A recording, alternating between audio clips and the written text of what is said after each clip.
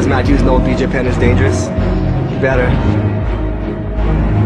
He has to step up to me, and when that happens, that's gonna be the time. Because I'm all about finishing my guy, and I cannot wait, cannot wait to finish him.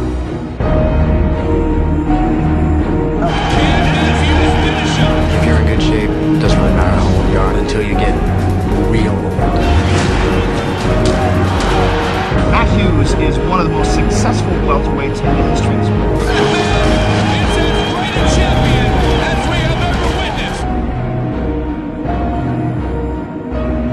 This is the moment UFC fans around the world have been waiting for.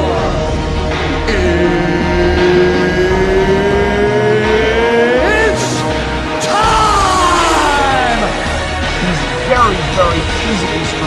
He's very good at dictating where the fight takes place, taking guys down, getting on top of them, and smashing them.